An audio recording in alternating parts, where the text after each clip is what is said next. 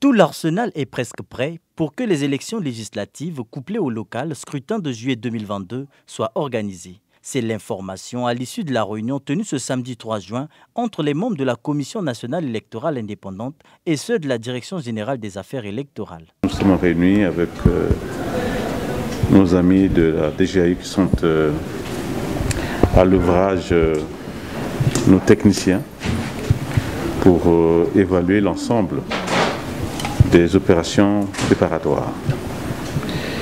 Et nous sommes euh, sortis de là avec euh, une euh, réelle satisfaction parce que de mémoire d'agent électoral,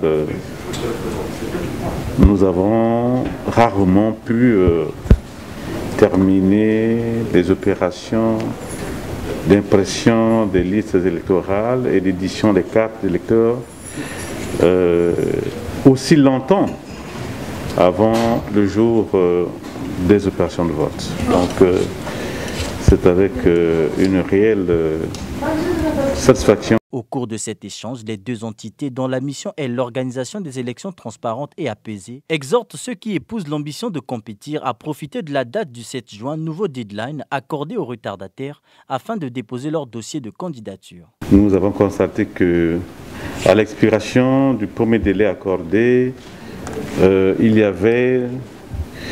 Euh, nous n'avons pas encore reçu euh, suffisamment de candidatures, mais il y en a, oui, pour que les 151 sièges aux législatives soient pourvus, que les 1000... on a environ 1458 sièges au local soient aussi pourvus. Mais nous voulons encourager euh, le maximum euh, d'hommes et de femmes à faire acte de candidature. Donc il n'y avait pas de raison, après en avoir discuté avec le ministre, que celui-ci ne proroge pas le délai de dépôt des candidatures, c'est ce qu'il a fait. Bien préparer une élection en est une parfaite volonté, mais l'organiser dans toute la transparence est mieux.